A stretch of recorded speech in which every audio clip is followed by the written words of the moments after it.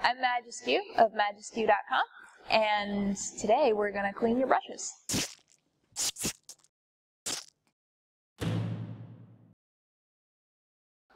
Here we have a dirty brush, and we've just finished painting. So the first thing that we're going to do, um, and this is an optional step, uh, if you already have terp out, it's Turpenoid, turpentine, and you have it open. Sorry, mine is a little gross right now. If you already have turp out because you're painting with it, um, then it's okay to just kind of get the first little swoosh off of there and see what you can. Because there's no reason to make your life any harder by having a lot of extra paint just sitting on the outside of the brush. So if you want to get what you can off with the terp as a first step, that's perfectly okay.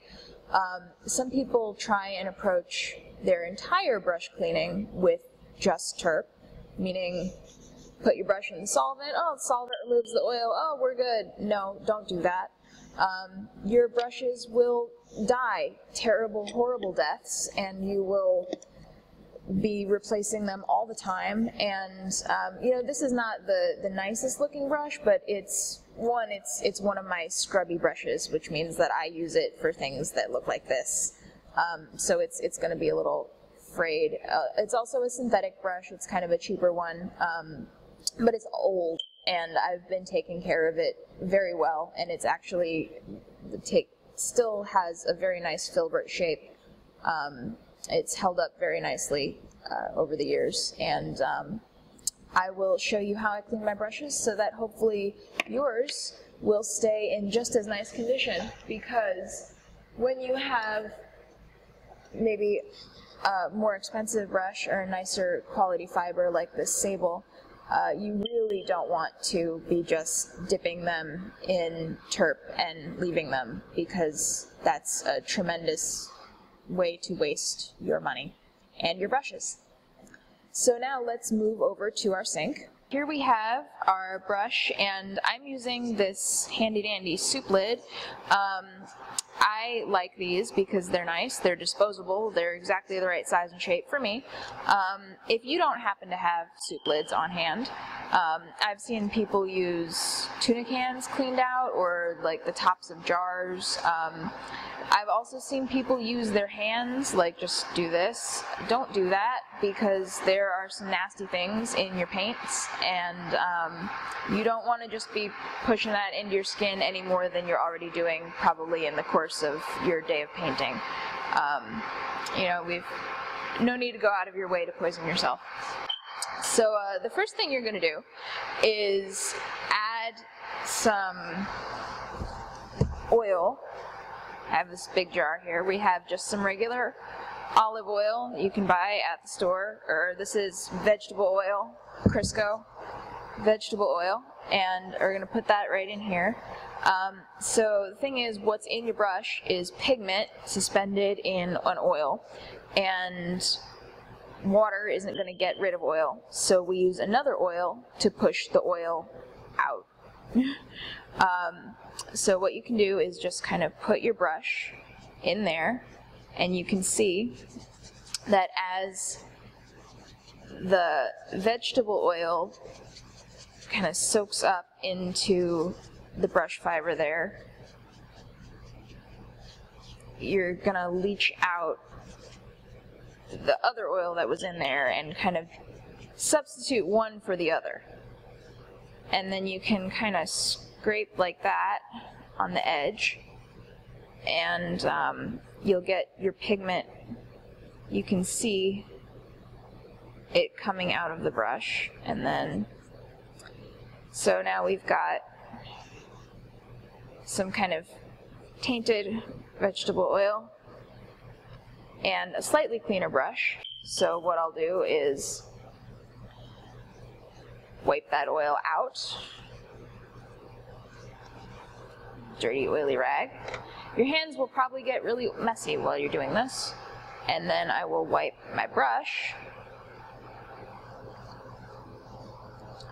and then you're going to repeat this process again. Put your brush back in. Clean it, clean it, clean it. And I wasn't using this brush very much today. There isn't a lot of oil in, or paint in it. There's a lot of oil in it right now. Um, and it's not very big. If you use a lot of large brushes or lots of different brushes um, or both, you can expect that this process, the cleaning process at the end of your day, is going to maybe take you quite some time to get all of the, the pigment out of your brush.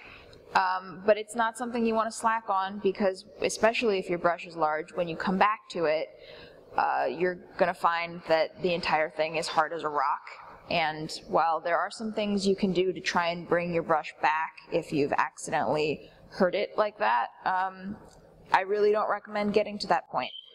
Uh, so this, this can be a lengthy procedure, but luckily our small brush was pretty clean when we started, so by the second time uh, our oil is actually not showing any of that reddish brown pigment that we had in here. Um, I think we had Mars Violet, was it? Uh, I don't remember. But uh, there's no pigment showing in our oil, so we're just gonna kind of get rid of that and um, wipe our brush one last time. So now we have a brush that is totally saturated with vegetable oil. Now that's a little bit better than having a brush saturated with oil and pigment particles full of heavy metals, but we still don't want to just leave our brush with all this junk in it. So we might ask ourselves now, what removes oil?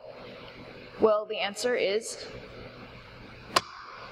dishwashing liquid. So now we have a fresh soup lid, and uh, we're just going to put a little bit of Dawn right in there. And uh, you'll have to forgive me, my, my sink is broken, so we just have a little bit of water. You know what?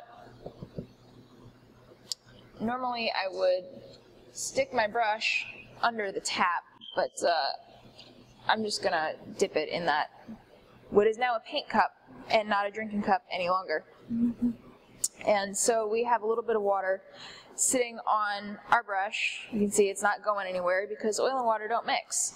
But that's what the Dawn is here for. So you can really just kind of, and we just added a little water to help the Dawn get all nice and bubbly. Uh, it works without, but just kind of facilitates the cleaning.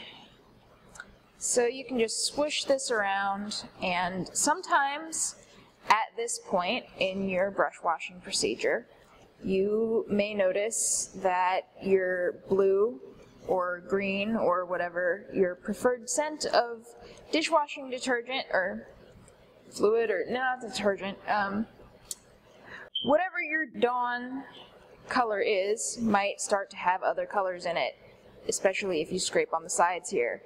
If that happens, there's still pigment in your brush and you need to go back to the vegetable oil phase and do that until that doesn't happen anymore.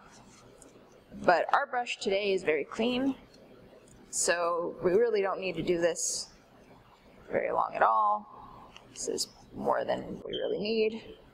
And you can see we've now worked lots of Dawn in. Now, normally I should have washed my hand with Dawn first because I have vegetable oil all over it. Um, but my sink is broken right now, so I'm just going to show you this. On the back of my hand, we have nice, clean, Dawn-covered brush. So I've stepped away and um, cleaned this with water, um, just washed out the Dawn. Um, unfortunately, my sink right here is having a, a bit of a moment, so um, I had to go find another one. Sorry about that. But uh, hopefully we can all understand that we can we can rinse brushes with water and get the soap out of them. And now we have a nice clean dry brush. You can just um, use a, a towel to pat the, the brush dry and then gently reshape with your fingers um, just the, the shape of, of the brush, uh, this filbert or square or round or whatever, just bring it to a, a tip and leave it in a, in a nice way to dry um, in its own shape. And uh, one other thing that you can do um, after, after you've finished with all of the cleaning and your brush is ready to uh, wait for, for your next painting session is uh, add a conditioning element. There, there are a couple brush cleaners out there that they sell um, that you can just kind of put into the brush when you're going to leave it, um, especially if the brush is larger and there might be still some pigment way deep in there that you're just really not going to ever effectively get to all the way 100%. Um, it can be nice to put a little um, brush conditioner in there and sometimes wrap it in a towel uh, like a paper towel will work, just that as it's drying, it's going to keep its shape and it holds the conditioner in. And um, that can just help it stay um, youthful and uh, nice a little bit longer, especially for those larger, thicker brushes. Um, one thing that I've always found worked for me was using hand soap. I know that sounds weird, but just like the normal foam dispenser hand soap, you can just put a little bit right in the tip, like just a tiny, tiny little bit. Just kind of do like that. Put it in. I don't have any right now, but like you would do like that. Just leave it just, just like that. And um, it won't hurt your brush. Um, they put conditioners in those soaps for your skin. And um, it'll do the same thing for the fibers. Won't hurt them. Um, and you don't need to, totally optional, but um, it, it, can be a nice thing to do if you have a, a, larger brush. For, for something like this, I wouldn't say that it's necessary.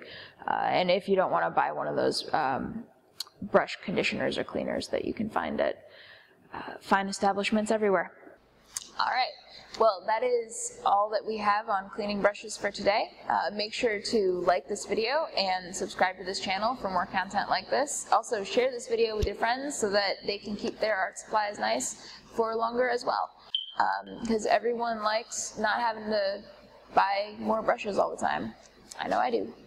Um, make sure to click through on the links in the video description um, to our affiliates and uh, check out their stuff on Amazon. It really helps out this channel. Um, also, there's going to be a link to my website, which is majaskew.com, and that's it for today. Thanks for watching.